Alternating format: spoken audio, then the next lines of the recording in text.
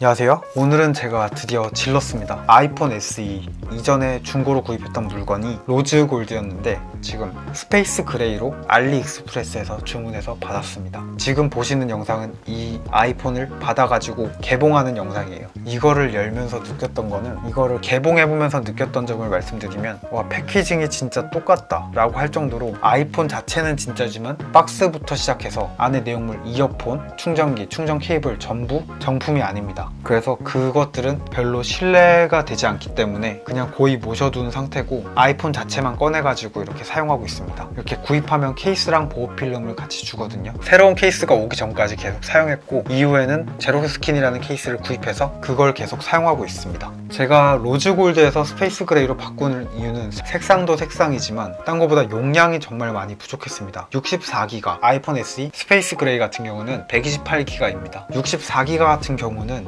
이전에 쓰던 모델이 256기가였기 때문에 안에 내부를 엄청 정리하고 막 이러다 보니까 힘들더라고요. 그리고 실제로 넣어 다녀야 되는 게 있는데 그게 다 안 들어가고 그래서 128기가를 그냥 써야 되겠다. 그 전에 건 중고로 다시 팔자 해서 사실 제가 원래 샀던 9만원보다 3만원 정도 더 얹어서 팔았습니다. 창조경제죠. 그 돈으로 이 아이폰 SE space gray를 구입했습니다. 알리에서 오는데 한 일주일에서 일주일 반 정도 걸린 것 같고 지금까지 사용하면서 뭐 문제가 있다고 나 온건 없었습니다. 지금 사용한 지가 한 달 반 이상은 된 것 같아요.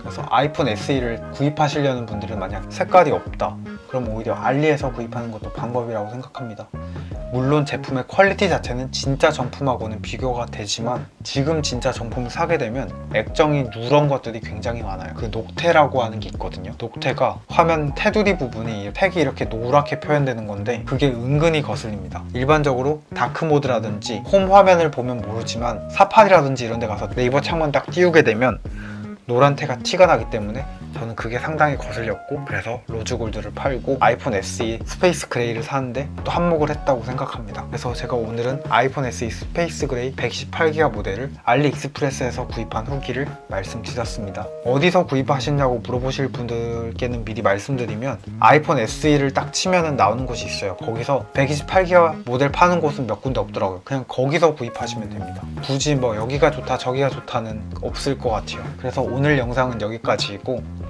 오늘 영상이 괜찮으셨다면 구독과 좋아요 부탁드립니다.